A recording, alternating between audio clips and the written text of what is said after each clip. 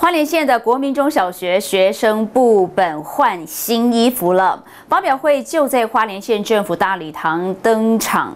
而这一次一百一十学年度的学生部本封面设计推手，则是由花莲县文化局邀请社团法人美感细胞协会以及肖瑞宇设计师，以花莲县的县鸟朱梨为设计主轴。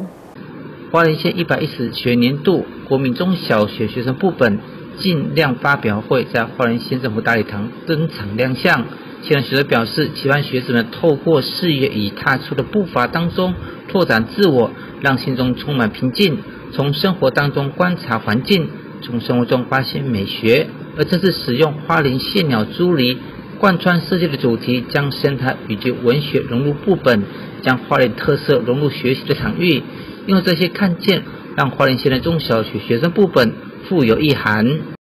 那今年我们特别希望改一个方式，换个模式，所以我跟这个处长就说，呃，我们是不是把花莲的地景地貌，还有人文艺术，把它加进来设计的理念里面，让孩子在其实学习的过程中，除了有美感以外，他也能够更了解花莲。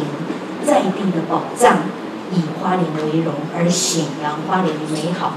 比方说，今年有胡服加进来，为什么会有加胡服？因为在台湾本岛里面，只有一个县市有胡服，那个那个县市就是花莲县，没有地方找不到，找得到。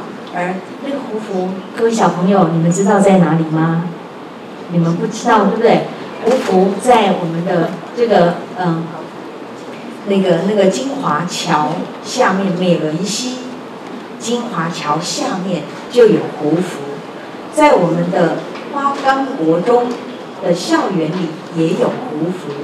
其实，在花莲有几个学校里面是有胡服的踪迹的，所以这是列为这个濒临这个必须要去保护的动物。我更希望我们大家能够注意生态，来保护胡服这件事情。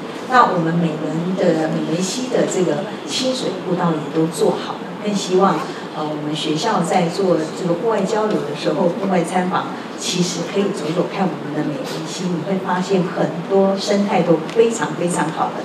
一百一十年度商情文化局策划封面封底设计，特别邀请致力推动美感教科书计划。